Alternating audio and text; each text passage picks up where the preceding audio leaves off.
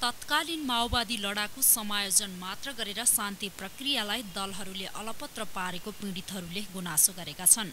उनीहरूले दलहरूले माओवादीका पूर्व लडाकुलाई समायोजन गरे पनि अयोग्य भनिएका लडाकु द्वन्दका घाइते र हत्या गरिएका व्यक्तिका परिवारलाई उचित न्याय दिन पहल नगरेको गुनासो गरेका छन्। हामी कसैलाई पनि लगेर जेलमा लगेर पुऱ्याउने पक्षमा छैनौँ। तर त्यति भन्दै गर्दा पनि मैले हाम्रा पीडित साथीहरूले हाम्रा अभिभावक किन मारिए त? मार्नुको पछाडिको कारण के थियो त? कि यदि मेरो बुवा कसैको केहीमा संलग्न हुनुहुन्थ्यो उहाँ अपराधी नै हो भने त्यो अपराधी अपराधीकरण कसले गरिदिन्छ? त्यो आन्सर हामीले आज सबैजनाले खोजिरहेका छौँ।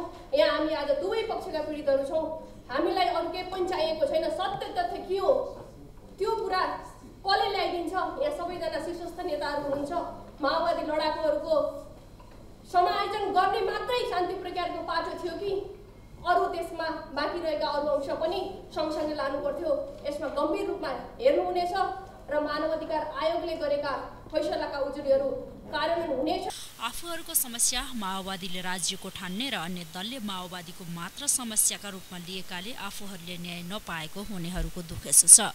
संविधानले बालबालिकाले हतियार बोक्न पाउने वा नपाउने भन्ने विषयमा केही नबोलेकाले यो मुद्दा भविष्यमा पनि उठाउन असहज हुने उनीहरूको तर्क छ। दस वर्ष द्वन्द्वका क्रममा तेह्र हजार भन्दा बढी सर्वसाधारण मारिए पनि त्यसलाई न्याय दिन सरकार अझै प्रतिबद्धता नभएको विभिन्न सङ्घ संस्थाले आरोप लगाउँदै आएका छन्।